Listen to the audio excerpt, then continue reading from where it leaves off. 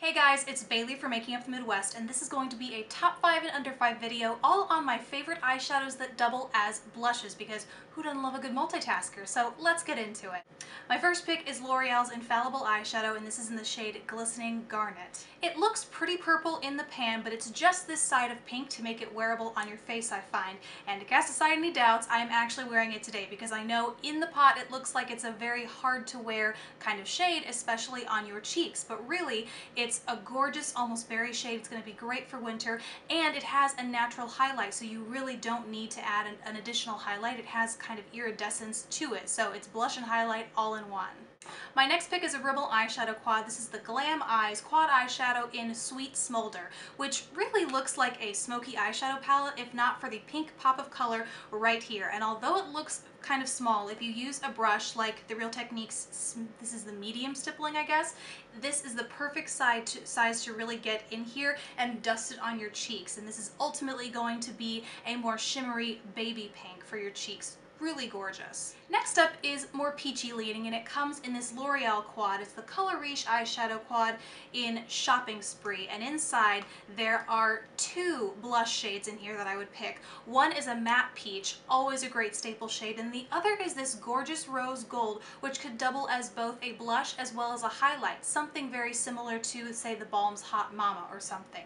Very gorgeous and it's two for one in this quad. Beautiful colors.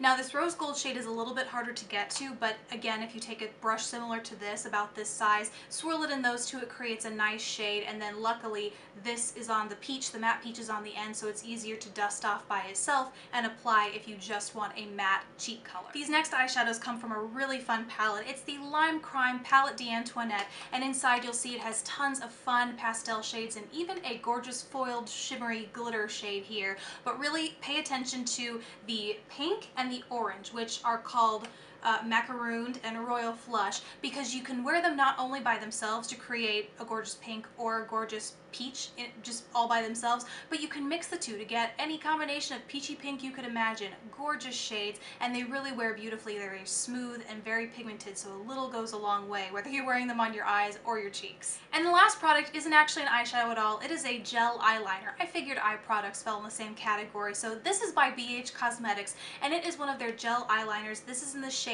Blow, which is a pink shade. Now, it's also, these are great fun gel eyeliners that stay all day. They really don't don't budge. But if you dab this using a finger or even, again, a stippling brush on your cheeks, it will stay all day. In the pot, this looks like it has some chunkier shimmer, but once it's applied, it just comes off as a nice, very subtle pink flush. Again though, beware, a little of this goes a long way, so you really don't need to build it before you get some pretty intense pigmentation. But it's a really great option for a cream blush if you are cramped for space or just need something to multitask for you. So those are all of my favorite eyeshadows that can function both as eye products, I should say, or blushes. Please let me know if you enjoyed this video by hitting the like button and please subscribe if you haven't already. I will see you in my next video. Bye!